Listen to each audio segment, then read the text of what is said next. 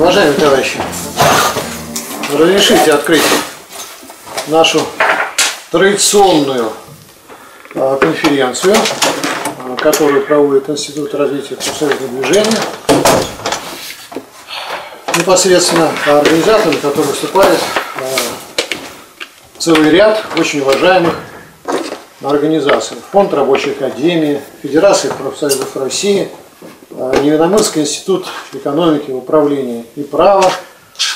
Ну, вот я особенно хотел бы отметить э, вклад Невиномысского института экономики, управления и права, который публикует материал на нашей конференции. Я не устаю повторять, что с каждым годом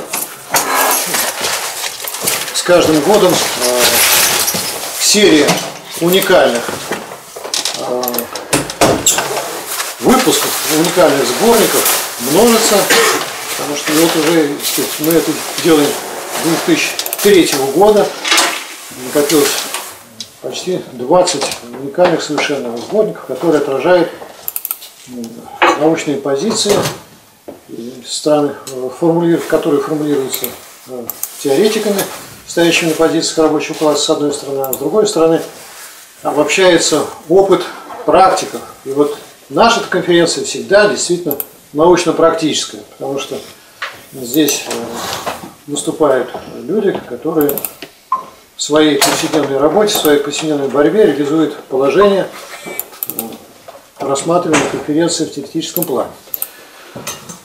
Мы э, всегда подчеркиваем, что то, что мы сейчас с вами делаем, так говоря, языком науки, это пленарное заседание, то есть некоторые основные постановочные доклады, да, их обсуждение аудитории, а потом мы продолжаем с вами работу в этом русле уже в рамках Российского комитета рабочих. Конечно, Российский комитет рабочих имеет самостоятельное значение, это не продолжение конференции.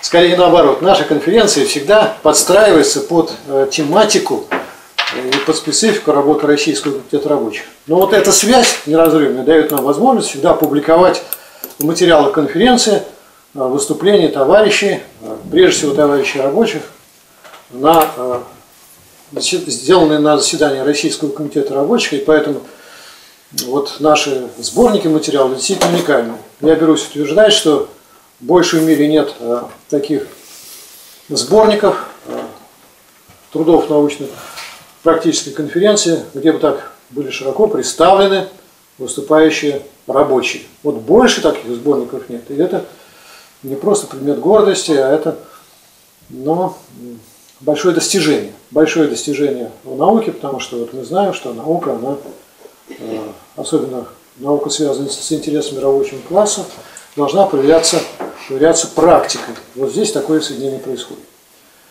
А Сегодня значит, мы проводим конференцию, э, которая называется «Коллективный договор как система забастовочных требований». Если вы посмотрите тематику э, нашей конференции, то вот мы начинали, первая была конференция э, в 2003 году проведенная, которая имела близкое название. Речь шла о коллективно-договорных коллективном договорном регулировании отношений между работниками и работодателями, тоже как будто бы шла речь о коллективных договорах, она действительно шла. Но за эти 18 лет э, рабочие движения и сказать, те, кто от науки, сказать, от лица науки участвует в нем, сделали заметный шаг, ну, по крайней мере, в осмыслении этих проблем, в анализе. И вот этот опыт 18-летней работы, он, конечно, не пропал, и мы в этом убедимся убедимся в рамках сегодняшних выступлений, с одной стороны, с другой стороны, вот в рамках тех материалов, которые будут опубликованы. Я хочу представить э, теперь президиум, тот редкий случай, когда э, в президиуме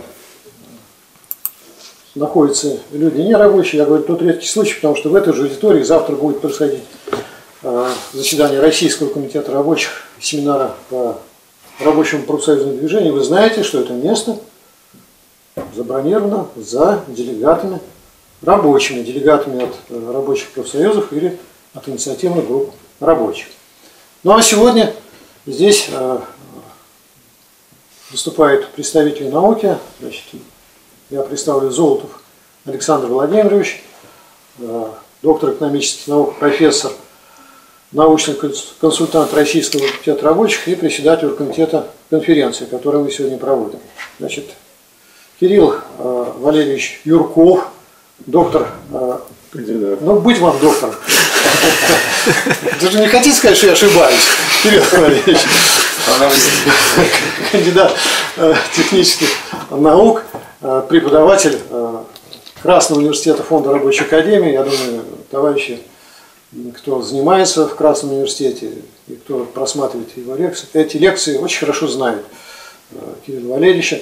И он, э, Кирилл Валерьевич также с недавних пор и консультант Российского комитета рабочих. И Денис Борисович Дегтярев, э, кандидат медицинских наук, тут ошибок нет, и тоже преподаватель э,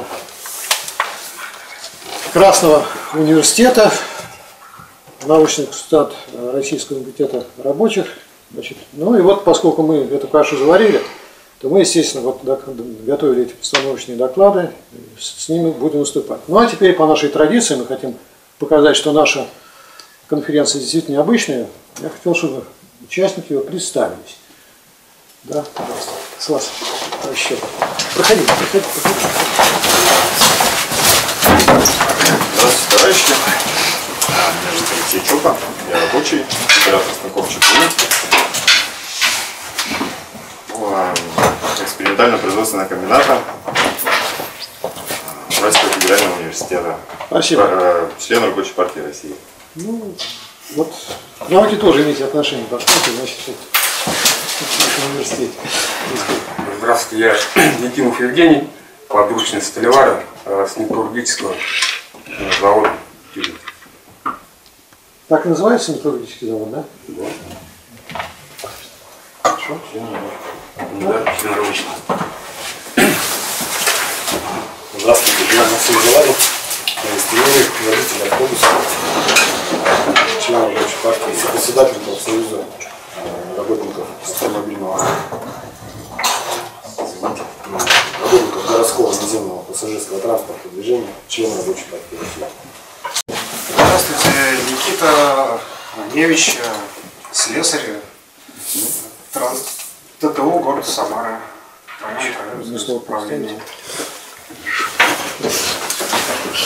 Федин Андрей Анатольевич, город Королев, оператор станков Чапова. ОНПП «Мера». Гордин Владимирович, слесарь по ремонту подвижного состава, ТТО город Самара. И Павел Юрьевич, слесарь ремонтничного разряда, Самарская ГРЭС. Так, кто еще хочет представиться? Тут нет необходимости. Кто хочет? Горбушкин Сергей, электромонтер, город Микросталь. Старцева Ксения, кандидат биолого-минералогических наук, член Рабочей партии России.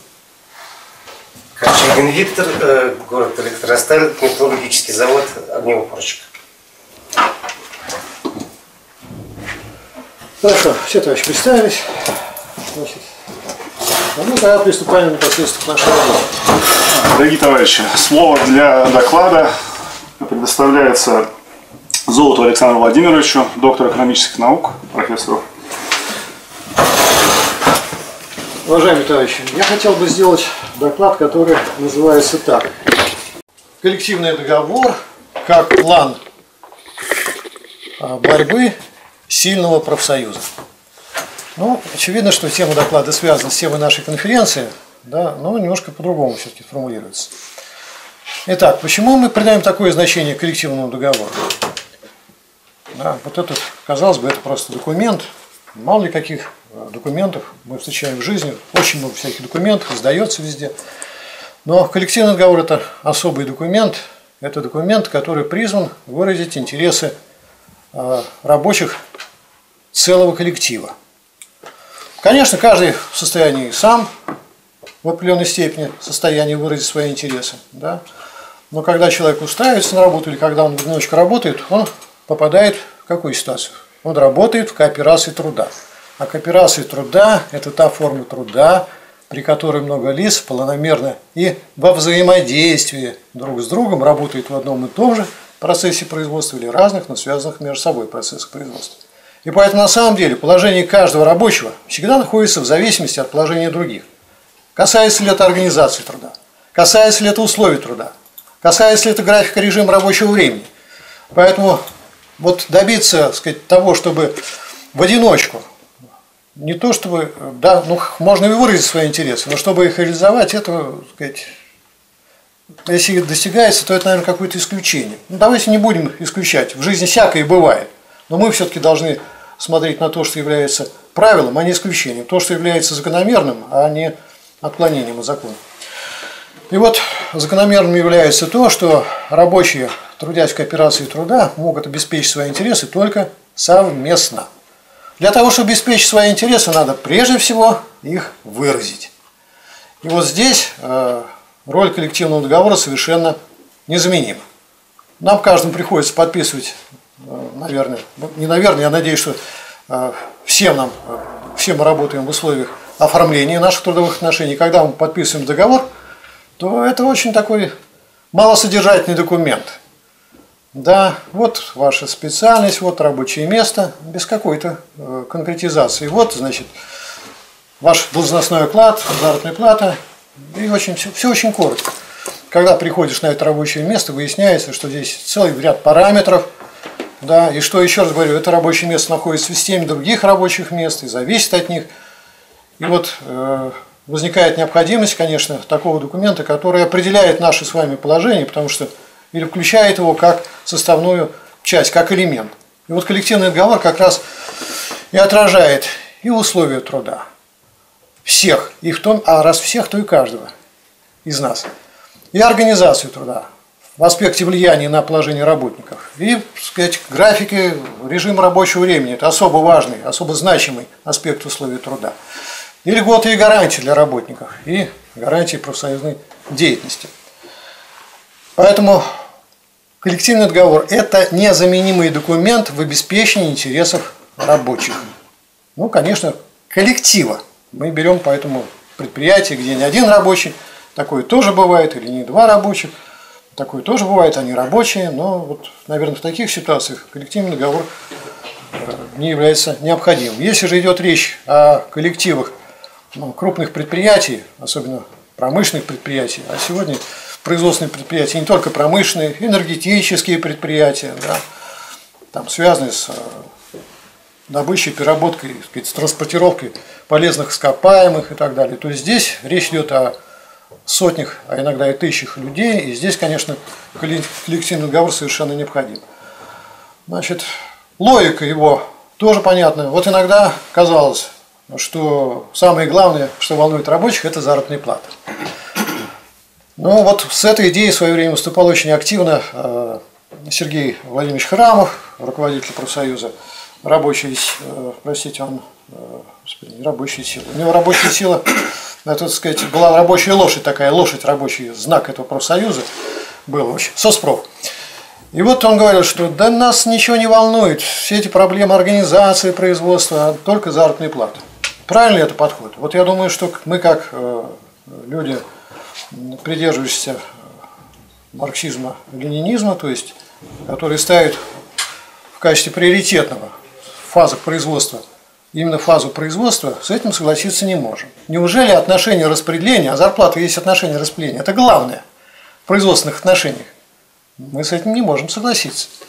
Распределение вытекает из того, какое место вы занимаете в системе общественного производства, какое место вы занимаете в коллективе, какая роль вашей в организации коллектива. Поэтому, конечно же, наши интересы надо выразить, интересы рабочих работников, прежде всего начиная с вопросов организации производства.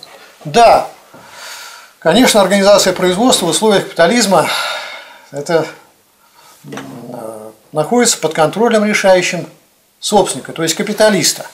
И он бы как раз не хотел бы, и очень поощрял вот идею такого, что ваше дело только заниматься заработной платой, а уж мы как-нибудь организуем. Но рабочий класс и рабочие с этим не могут согласиться, потому что кого организуют? Рабочих. Что организует? Их жизнь. Это значит их сфера жизненных интересов. И они все доверяют тому субъекту, интересы которого противоположны интересам рабочих. Вот я думаю, это вот подходить с точки зрения сказать, профсоюза соцпроф глубокая ошибка. Это заранее сдавать коренные позиции. даже под лозунгом того, что мы такие вот непримиримые борцы.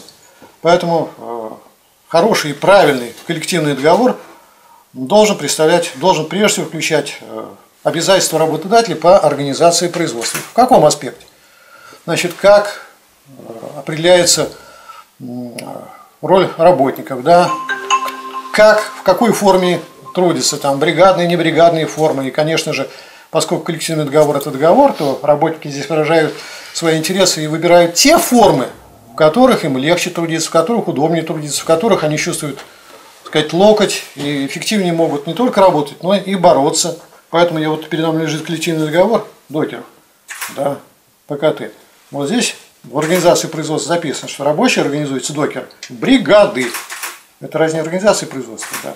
А дальше, а кто определяет, кто является бригадиром и как он работает? Вот это определяется тоже коллективным договором. И выдвигаются здесь требования работниками. Вот когда мы это определим, тогда уже значительно легче будет обеспечивать следующий вопрос. Если мы организуем так производство, что на все коренные вопросы организации производства э, затраг... непосредственно затрагивающие интересы рабочих согласуются с профсоюзной организацией, тогда мы можем решать вопросы занятости. Ну и вот и здесь уникальный пункт.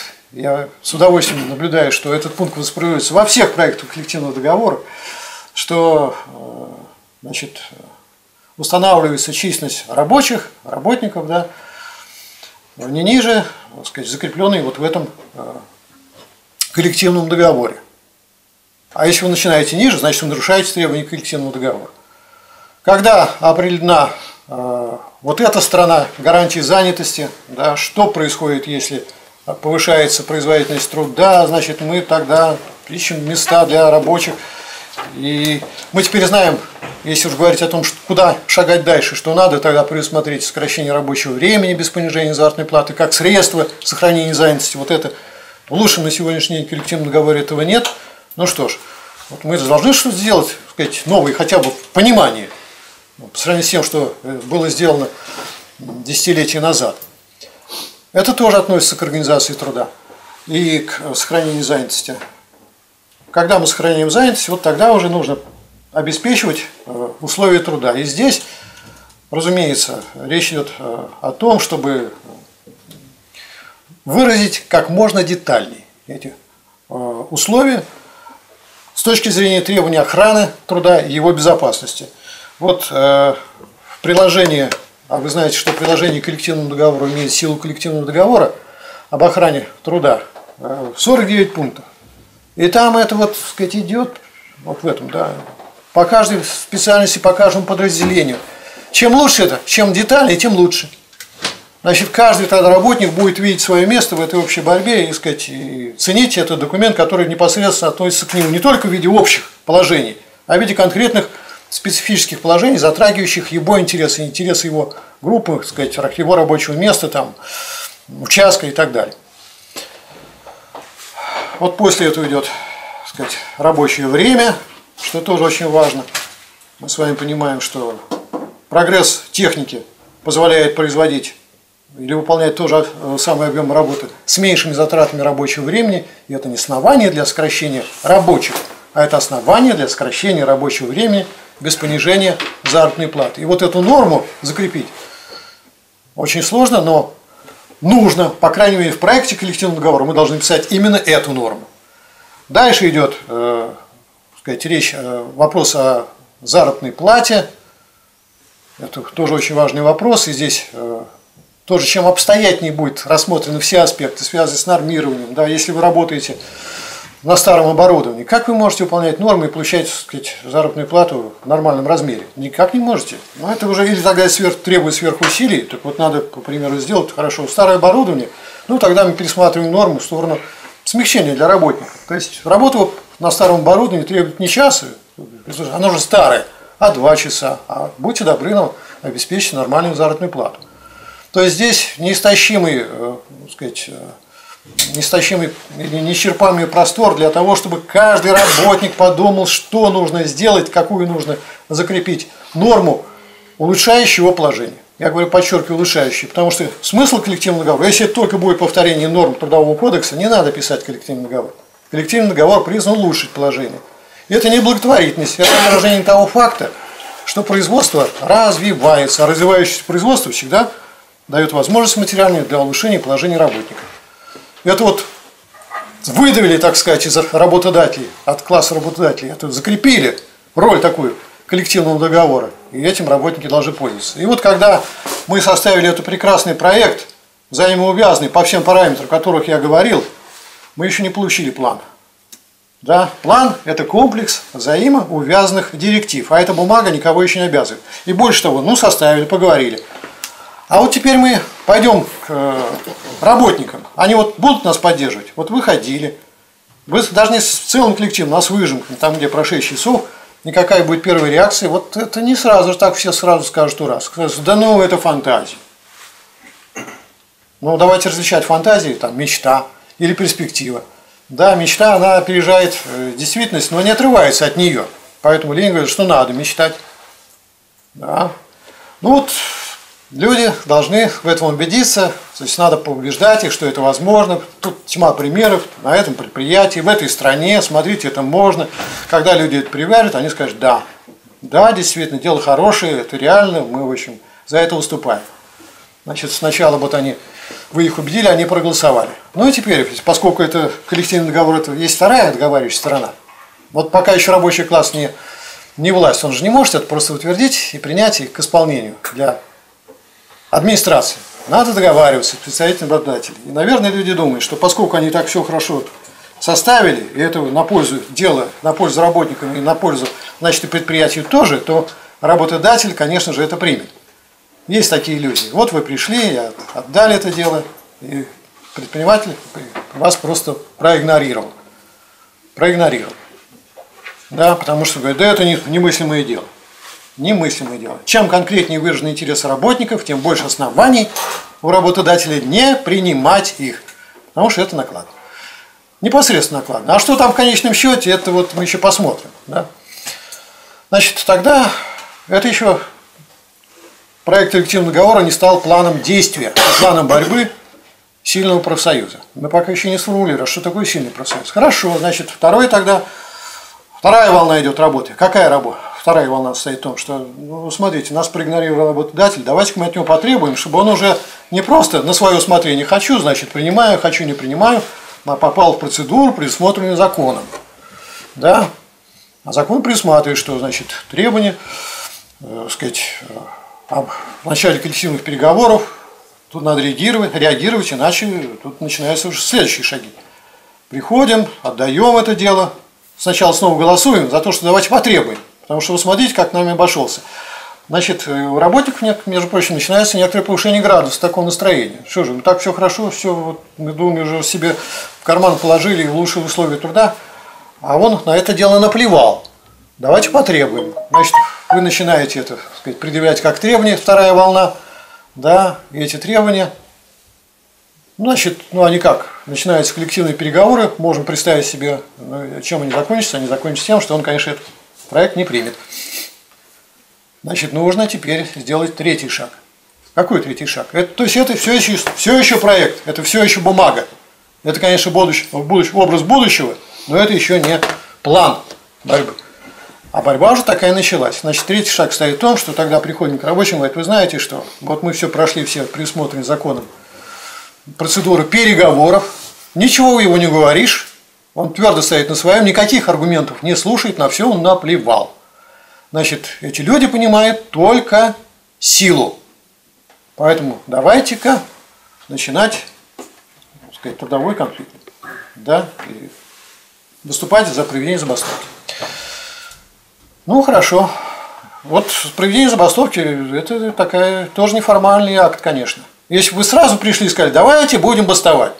Ну, это люди, вот, которые не прошли первые два этапа, они бы не, не поняли, не поддержали. То есть людей надо завести. Вот убедить их, что да, что, видимо, без того, чтобы вот каким-то не прибегнуть к этим мерам, предусмотрен законом и Конституцией, но тем не менее экстраординарным мерам своего не добиться. И вот теперь идет третья волна, когда мы выступаем за то, чтобы бастовать и формулируем эти требования и формулируем таких, таким образом, что выполнение какого-либо требования не означало завершение забастовки, потому что другое требование будет не выполнено. И для этого коллективный договор подробно написанный. Это просто великолепно. Проект коллективного договора. Великолепный материал. Потому что вы это выполнили, а это не выполнили. Значит, мы продолжаем нашу забастовку. То есть, вот на таком фоне, когда работники бастуют, организованные профсоюзом, мы видим ситуацию, что начинает осуществляться этот коллективный договор. Он превращается в комплекс директив. Кого? Не просто написано, что обязательство работодателя, обязательство, я перевожу с русского на латинский, директива. Он становится обязательным для работодателя под угрозой забастовки или при проведении забастовки в той форме, в какой она может длиться бесконечно долго. И мы об этом уже здесь говорили, я не буду возвращаться. Если вы бастуете по час в смену, вы можете бастовать сколь угодно долго. Но если надо нажать, значит 2 часа в смену бастуем. А 6 часов работаем. Да? То есть форма выбирается так, чтобы так сказать, нанести минимальный, максимальный ущерб интересам работодателей и минимальный ущерб интересам работников. Вот в такой борьбе этот документ начинает оживать, и жизнь идет в соответствии с ним. И он превращается в план, то есть комплекс взаимоувязанных директив, выражающих интересы работников. Разумеется, вот чтобы всю эту работу проделать, нужно иметь большую настойчивость, надо иметь быть целеустремленность, надо, значит, выдержку иметь и полагать, что коллектив сам, даже в лице самых таких ярких своих представителей, которые вдруг выдвинулись в процессе конфликта, это сможет осилить, не приходится. Это может быть, но может быть только исключением. Вот для того, чтобы вести борьбу не с сегодня на завтра, а в течение ряда лет, а вы знаете, что сказать, вот докеры уже вывели норму времени. Какую норму времени? За сколько времени нужно готовить проект коллективного договора, чтобы он был принят, так сказать, и вот из него можно бороться. Полтора года. Значит, полтора года это не готовит, там, процедуру все проходит, потом еще год-полтора длится забастовка. Вот чтобы вот три года находиться в постоянной мобилизации, а кто сказал, что потом мне придется делать то же самое. Это надо воспроизводить, это же постоянно надо делать. Иначе это сразу превращается в бумагу из плана. Значит, нужна организация, которая выше профсоюзной организации. Какая организация? Партийная.